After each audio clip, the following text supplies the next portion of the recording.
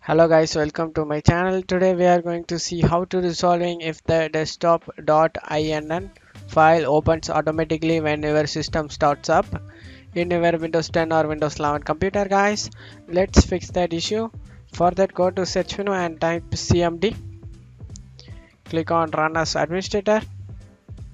Click yes. Now check my video description for two commands guys. Copy the first command just copy it and tap the bar right click edit and paste it. Press enter. Now copy the second command guys. Just copy it and tap the bar right click edit and paste it in. Press enter. Now go ahead and restart your pc guys for make changes. And this will be solve your problem go ahead and restart it.